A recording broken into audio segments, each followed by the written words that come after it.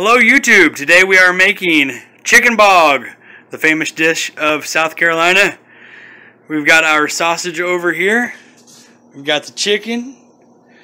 Right now we've got some of this French onion dip in here with some water and some chicken broth. We've got our rice. We got the cream of mushroom soup. We got some onions here. We got some garlic. Uh, these pickled eggs are not part of the recipe, but uh, we're going to go ahead and get this chicken opened up. And uh, what do we get here? We got about 3.75 pounds for $4.46, and it was half price, so $2.23. And we're going to go ahead and put all this together, and in just a moment, we'll show you what we're doing. So now we've taken our meat out of our broth. So we made our own chicken broth. And then we put it aside, let it rest. And then we shred it. We're going to pull it off the bone and get rid of all the stuff you don't want. And then eventually that's going to go back in the pot. See. So now you got to take your sausage. What type of sausage is this? This is uh, smoked sausage. Okay. Old link guys. A lot of people use Hillshire. I don't.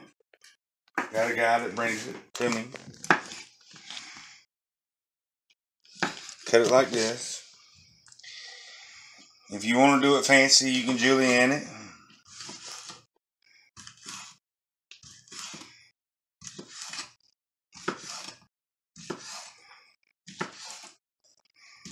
I like the two sausage one at one time. You know, uh, don't waste any time.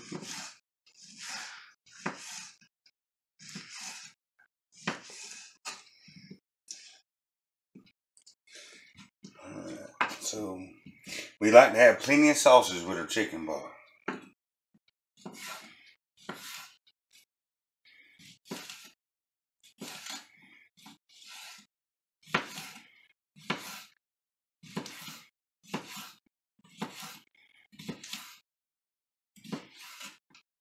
You always got to have a little taste one. Little sample. Mm-hmm, a little something. A little sample. See, senor. So, what we're going to do now, because I still got some more to cut, but my, my chopping board is overwhelmed.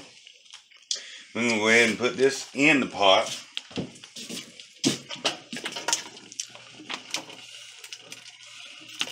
The goal was in the pot. Yeah, it was, but then we'll pick them up. we'll put them, we'll put them in there. And we'll go back and cut some more. And Well, I, th- we'll I do- reckon I'm gonna start working on this chicken. I'm gonna start getting that shredded up. We'll, we'll put this back up to temp. Let that make a new broth. And then when that makes a new broth, Got the rice. we'll add our chicken, let it simmer for about 30 minutes, and then we'll add the rice, and boom, you got the best chicken bog Mhm. around. You think we're going to use this whole bag? I don't think so. Maybe about that much. It all depends on how much, uh, how much liquid you get in there. Chicken bog. All right, this is the finished product. Got our chicken bog here, and uh, the rice has finally become tender. We got the sausage, and uh, go ahead and throw some hot sauce on it. You know, I like uh, Texas Pete or Frank's. Something like that is uh, fantastic with it. I hope you've enjoyed our chicken bog journey.